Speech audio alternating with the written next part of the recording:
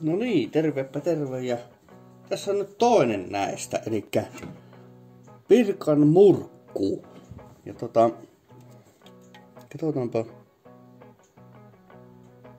Eli kola appelsiini. Virvoitusjuoma. Eli hyvin perinteinen mehujää. Mehujää tota noin ja Katsotaanpa minkälainen tämä on. Onko täällä heti Oo, tähän musta.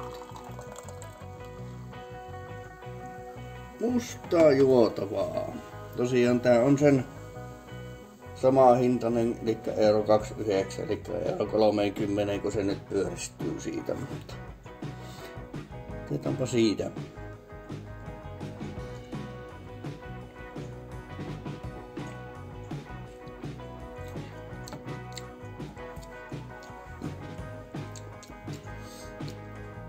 Tässä on tota aika vahva minusta tuo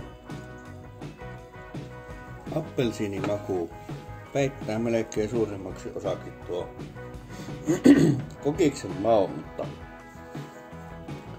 ei tämäkään huono oo. Ja minä samaa arvosana annan kuin, annan kuin edelliselle, eli oliko se nyt 2,5 kautta 5.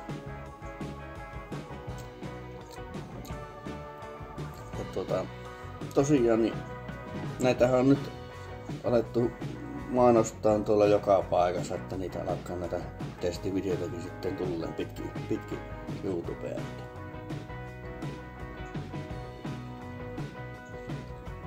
Mutta joo, ei tämä paha oo.